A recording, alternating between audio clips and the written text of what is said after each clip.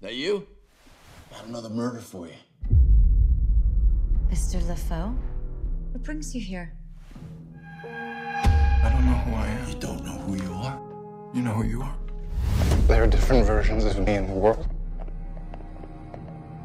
I think someone's trying to kill me. Different victim, same body. Everybody thought it was you. Is he a relative? Come this way. You're a time traveler. I was 20 years old. This beautiful girl. He appeared on the road out of nowhere. If it wasn't for you, we'd still be together. The universe is not about you. You look so much like him. Parallel realities. You fragmented into about seven different versions of yourself. One of them happened to be a psychopathic killer. What happened to Daniel?